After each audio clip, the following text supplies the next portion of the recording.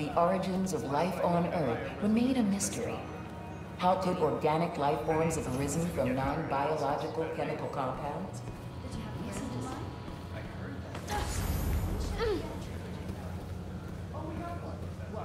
This is the original prototype from Otto's lab.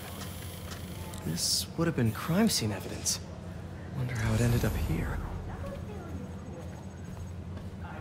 Nice. Seems inspired by some of Otto's work without the hardwiring problems. Wonder if Dr. Connors has used this. Though after that lizard rampage, he may be done testing his work on himself. Let's see what's going on here. Maybe I can help. Oh yeah, that would take a while. I'm not sure there's time to dig in now, but I'd sure like to come back and work on this later. So many cool things here. Looks like Connors is putting the research he did after he lost his arm to good use. Wonder if he regrets testing that serum on himself. Must be unnerving walking around with dormant lizard DNA in your body. What's this?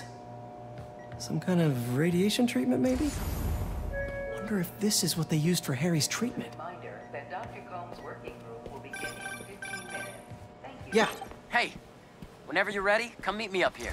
I'm on my way. I'll see you in a sec.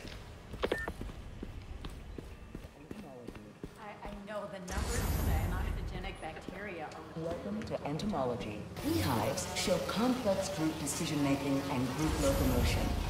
Swarming is an annual process in which the colony expands and spreads. Drones? Yeah, uh, doing a little cross collaboration between the Energy Lab and the Agricultural Lab. Ultralight drones using the new battery tech for crop monitoring. Very cool. Do they collect crop data too? They will, by the time we're done with them. That's awesome. Thanks! There's so much to explore. But I shouldn't keep Harry waiting. something else, aren't they? They are.